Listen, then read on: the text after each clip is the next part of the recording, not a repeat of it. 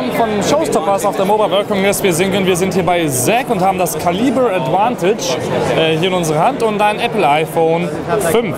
Wie ihr sehen könnt, wir haben ein schickes Case mit Tastatur bzw. einem Gamepad, ähm, hier entsprechend wie man es kennt, äh, Pfeiltasten und hier können wir uns entsprechend hier ähm, bewegen bzw. durch die Gegend laufen und spielen wie zu Hause auf der Konsole, entsprechend mit äh, sehr guten Tasten und natürlich auch ähm, Tasten an der Seite.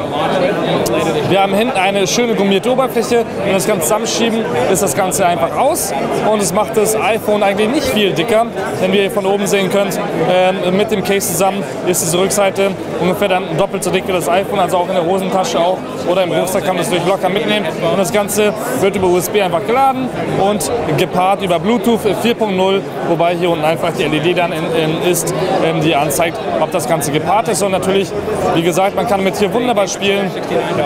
Ähm, zum Beispiel hier Epic Citadel mit sehr schöner Grafik. Macht sehr Spaß, aber leider nur fürs iPhone 5 aktuell und wird äh, 69 Dollar kosten im Sommer diesen Jahres. Mein Name ist Balaschka, das war hier ein kurzes Hands-on mit dem Advantage von Zack. Bis zum nächsten Mal, vielen Dank, dass ihr zugeschaut habt.